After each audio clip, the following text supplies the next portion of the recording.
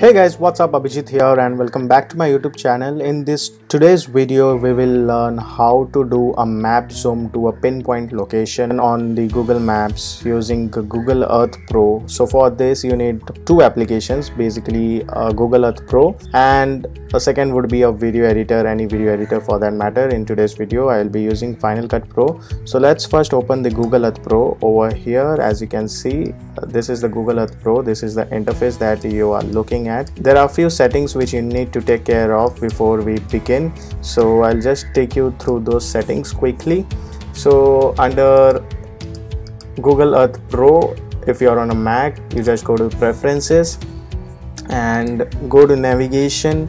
Over here check the bottom two options that is automatically and enter the ground level and gradually slow the earth when rotating or zooming and over here you need to take care of this thing. Fly to speed should be between 0.100 to approximately 0.15 but uh, for buttery smooth speed for the rotation I would keep it to 0.1000 and I hit OK. And over here uh, under the view tab just check everything over here. Whatever I have checked make sure to have the same settings turned on and once this is done you need to specify the location in the search bar over here and hit enter and it will automatically create a movie for you. Let's just begin with this thing. I'll say empire state building over here. I won't hit the enter because we need to record this thing to in order to record this thing you need to go to the tools under movie maker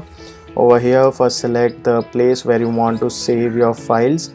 So in my case i'll go to the desktop. I have already made a folder. Uh, there is already an empire building folder but i'll create a new one for the this tutorial. All right so i hit create and file name I would give es and hit save. Make sure to save all the files inside this folder because we'll be using JPEG sequence image stacking technology. So there will be multiple files over 1000 to 1200 files JPEG images.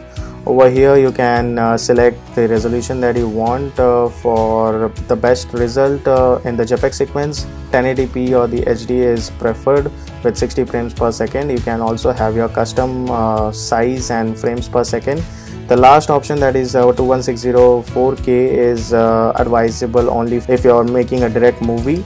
So the, the last option doesn't really work well with the jpeg sequence uh, i tried it and it gets cropped. So over here you come down to the file type and you select JPEG sequence. You can also have PNG images but uh, I prefer JPEG because the quality is a little bit better. And you can also choose to have MP4 file or M4V which would be the direct video file. So if you need just a video file you don't want to edit it in any other software then uh, just hit the mp4 or the m4v but in this case i'll be going with the jpeg set the picture quality as high or maximum. In this case i'll use high. I'll uh, hit the create movie button and over here since i have already mentioned the location i hit the search and once i have hit the search button you can see the globe is moving. Slowly slowly it will start moving and uh, it will go to the pinpoint location where we have mentioned that is the empire state building.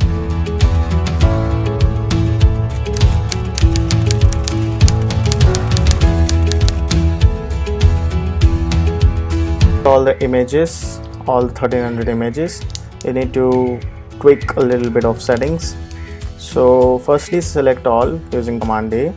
And by default as you can see over here each image is of 4 seconds. And we need to turn each image into one frame so that you get that buttery smooth animation. So for that purpose you select all the images and over here double click.